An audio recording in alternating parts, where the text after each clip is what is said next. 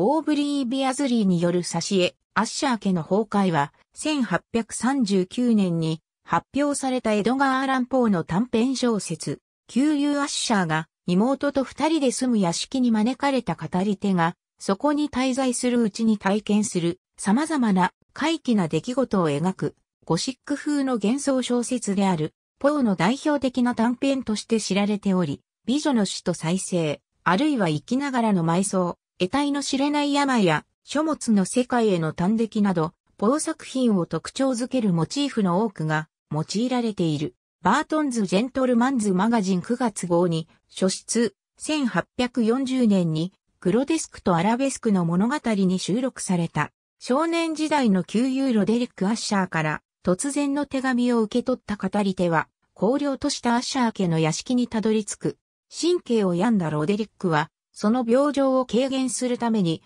唯一の友人である語り手に来訪を請うたのであった。数年ぶりに会った旧友は、かつての面影を残しながらも、すっかり様子が変わっており、中でも死人のような肌と瞳の輝きが語り手を驚かせる。ロデリック自身の説明するところでは、この神経疾患はアッシャー家特有のもので、治療のしようがなく、一度かかると奇妙な感覚に囚われたり、五感外上に研ぎ澄まされて、苦痛を感じさせたりするのだという。病の原因は、最愛の双子の妹までラインが長い重病のために、死に瀕しているからであった。語り手は、アッシャー家に滞在し、その間共に書物を読んだり、ロデリックの弾くギターを聴いたりして、時を過ごす。やがてある晩、ロデリックは、妹までラインがついに息を引き取ったことを告げ、二人はその亡骸を棺に収め地下室に安置する。この妹の死によって、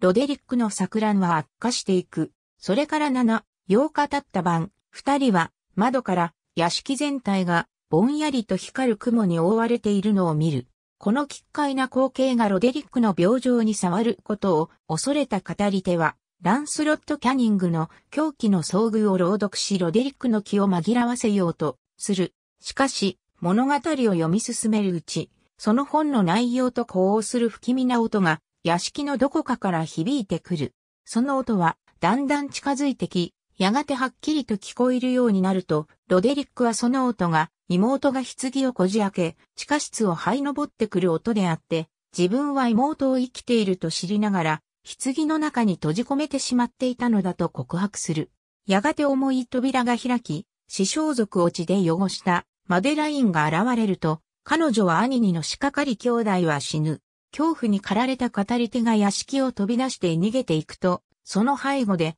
アッシャーの屋敷は、その亀裂から月の赤い光を放ちながら、轟音を立てて崩れ落ち、よどんだ沼に飲み込まれていく。ジェントルマンズマガジンのアッシャー家の崩壊掲載号、アッシャー家の崩壊は、ポーの三文作品のうち最もよく知られた作品である。ポーの多くの作品と同様、この作品もゴシック小説の伝統にのっとって書かれており、アメリカにおけるゴシック小説の代表作と考えられている。編集者 G.R. トマソンは、エドガー・アラン・ポー短編傑作集の序文において、この物語は長く、ゴシックホラーの傑作とみなされてきたものであり、また劇的なアイロニーと構成的なシンボリズムを合わせ持つ傑作でもあると書いている。また、日本語版の訳者、巽孝之は、ポーのこの達成がなければ、スティーブン・キングを原作とした、キューブリックの映画、シャイニングも、マーク・ゼット・ダニエレブスキーの、紙葉の家も、決してありえなかっただろうとしている。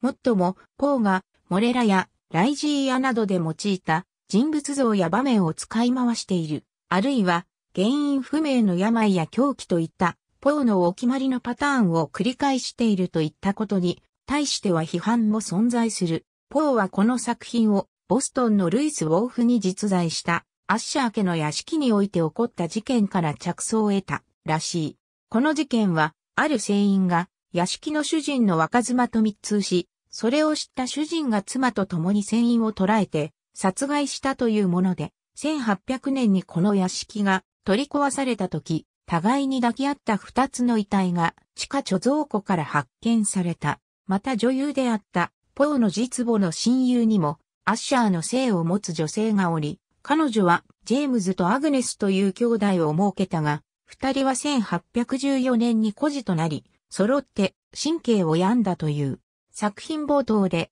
エピグラフとして掲げられているド・ベランジェからの引用句、彼の心はあたかも張り詰めた竜とのようだ。ひとたび触れれば、たちまち共鳴してしまうは、ベランジェの原文では、彼の心ではなく、私の心になっている。また作中で、フォン・ベーバー最後のワルツについて言及があるが、このピアノ曲も実際には上実のド・ベランジェが作曲したもので、ウェーバーが1826年に死去した際に、遺品の間に見つかったため誤って彼に返せられていたものであった。作中でロデリックによる歌曲として使用されている、ポー自身の詩、狂える城は、ボルティモアミュージアム1839年4月号が、書出。ロデリックの蔵書として紹介されている書物のほとんどは、実在の書き物だが、最後に登場するサーランスロット・キャニングの狂気の遭遇という作品は架空の書き物である。日本語訳は、辰巳田かゆき役、黒猫、アッシャー家の崩壊及び河野一郎役、アッシャー家の崩壊を参照した。ありがとうございます。